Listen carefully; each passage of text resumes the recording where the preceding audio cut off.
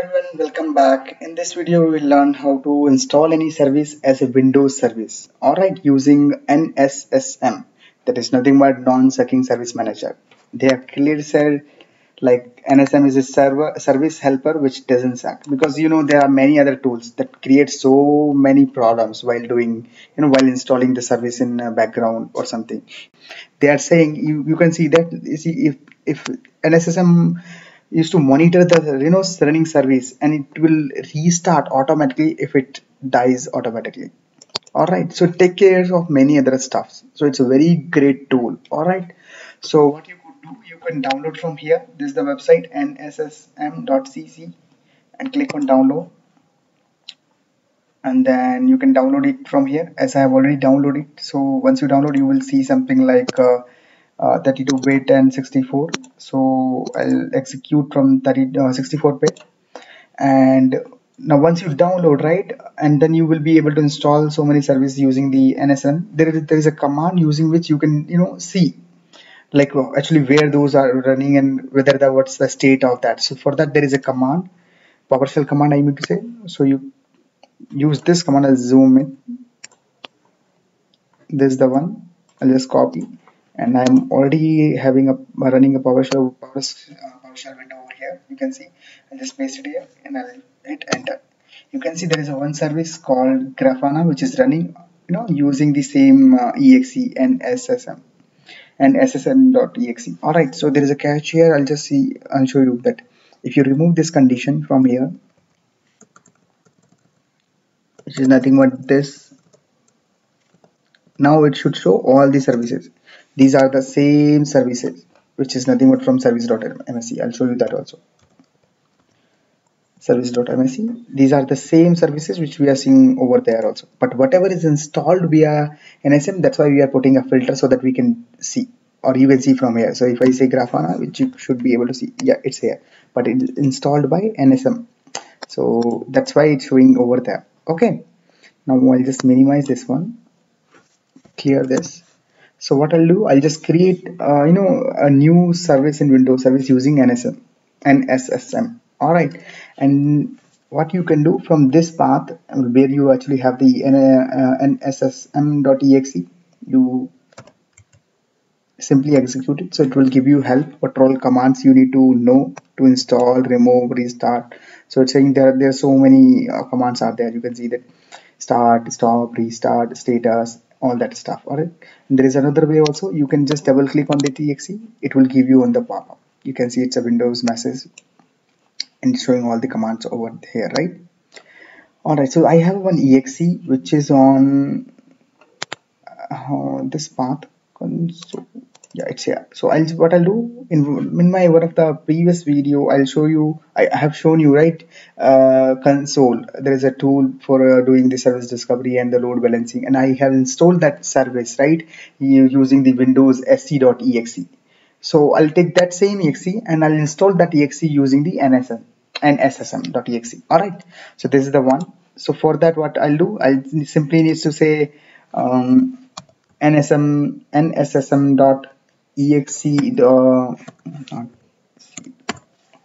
exe space install. So i have captured the command over here you can see.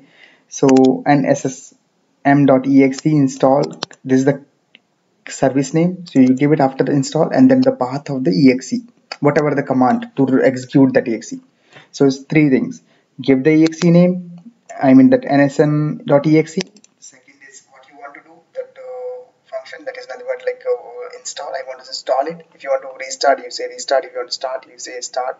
Stop like that those commands. So the command is install and then the what's the service name? I'm saying Consul and the path. And not the path actually whatever is required all the parameters everything including the first parameter should be the exe it depends on the by the exe the first the parameter is the exe and all the supporting parameters for that particular exe. So it's nothing complicated right? It's very simple.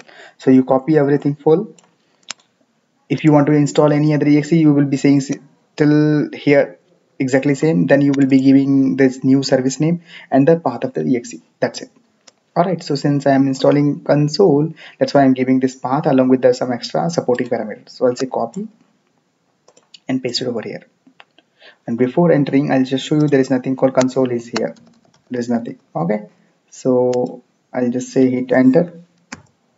You can say it started. Now let's see the status from the previous command.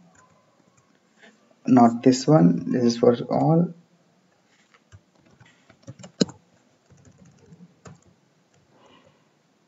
This is the one right? You can see it's uh, showing now there is one more exe got installed using the uh, using the nsm nssm all right which is running as a Consul. Now i'll just go back to service.msc over here i hit f5 and then you see Consul should be yeah it's a if you double click it will show that it it is uh, you know installed via nssm.exe alright now it's when you install it by default the state will be uh, not started. So you can, as you can see here also showing is stopped.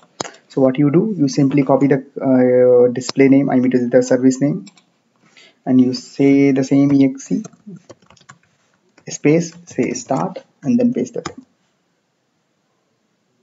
you can see it's starting. Now I'll just you the state. You can see it's running.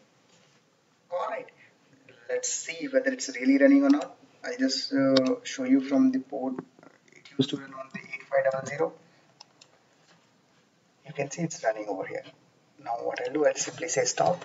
Now other features that you can stop restart that you can do from service.msc also from here also I'll simply say stop now.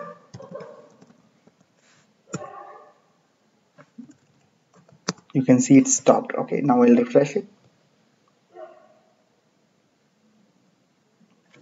You can see it's stopped. All right. Similarly there are other commands also what you can do. You, uh, you can see you have already seen the pop-up in the help of the same exe like restart um, I mean stop and all right? Now let's see how to remove it. It's same thing just simply say remove.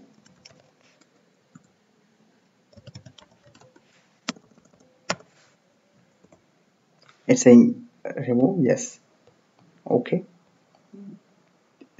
You can see it's removed now. Let's see the status. You can see there's nothing it. one more thing I just want to show assume you might have installed. I'll install it again so that you can I'll show you that one so this is the command I was using to install. It's installed. Now I'll just show you status. It's showing installed now assume while installing you might have entered some wrong parameter or like I told you know if I go back to the notepad here assume this is the path. After that you have to give the exe and all the supporting parameters. And what if what if, if you entered something wrong or by mistake you entered something wrong? So there is a way to correct it. So what you can do you simply say same exe space you here you use edit and then give the service name which you have used while installing. Since I have used uh, the same name I'm saying Consul and hit enter. You can see it's showing this pop-up window. It's a dialog window. So here you, you are getting all the arguments are here. You can if you made a mistake you can correct it from here. All right. It has have it has other information also. All right. Once you change the parameter simply say edit service and then done i'll say cancel. Okay. Thanks very much